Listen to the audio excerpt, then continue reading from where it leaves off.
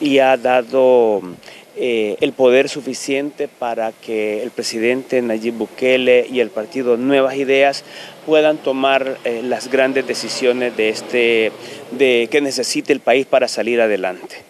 Eh, esto es un elemento fundamental porque el país viene a entrar a la discusión de temas fundamentales que deben de, abordarse con la mayor madurez temas como la fiscalidad, los temas de pensiones, eh, son claves para, el país. De hecho, eh, veíamos, eh, vimos una gran cantidad de personas de la tercera edad que salieron a ejercer el sufragio, que han dado este poder pero lo hicieron confiando en que el presidente le va a resolver el problema de las pensiones porque quieren tener una pensión digna y ahí va a estar, digamos, un elemento claro. Y en, segundo, y en tercer lugar, yo creo de que aquí viene eh, un reto fundamental de la manera en cómo se van a tomar las decisiones en el ámbito legislativo. la gente le ha dado el poder eh, para que se puedan tomar las decisiones, pero estas decisiones no se pueden tomar sin la inclusión de los distintos sectores. Debe de garantizarse la conexión con la población,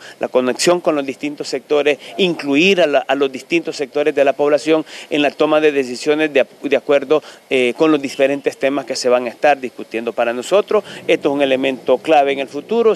la campaña se terminó, ya no, se trata de estar queriendo decir eh, más de lo mismo, se terminaron los más de lo mismo y el elemento clave que en esto es que la población salió para votar por el cambio.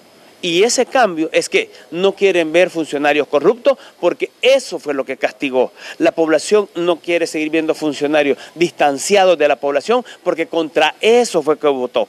Y porque lo que está esperando la población es que se haga una nueva manera de ejercer gobierno. Y en este sentido, Nuevas Ideas tiene un alto compromiso para garantizar que sus funcionarios no vayan a ser funcionarios más de lo mismo. Es decir, funcionarios corruptos, funcionarios distanciados de la población, funcionarios distanciados de las necesidades necesidades de la población. ¿Y el proceso del escrutinio, cómo lo ve usted, sobre todo teniendo en cuenta que hubieron